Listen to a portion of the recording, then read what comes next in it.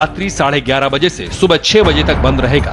ये संदेश central government PM Modi द्वारा दिया गया है। अगर आपको इस समस्या से बचना है तो आपको ये मैसेज आपके सभी कॉन्टेक्ट लिस्ट में भेजना होगा।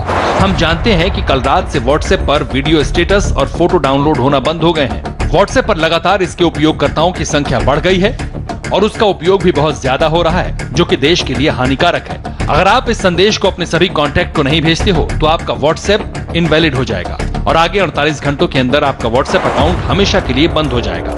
इस संदेश को इग्नोर मत करें और जब आपका व्हाट्सएप बंद हो जाएगा तो आपको दोबारा इसे चालू कराने के लिए चार सौ निन्यानवे रूपए का चार्ज हर महीने देना होगा और ये आपके अकाउंट से काट लिया जाएगा।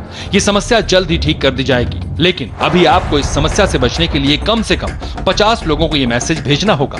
अगर इसमें से 10 लोग भी रिसीव करते हैं तो आपका व्हाट्सएप लोगो है, वो ब्लू कलर का हो जाएगा।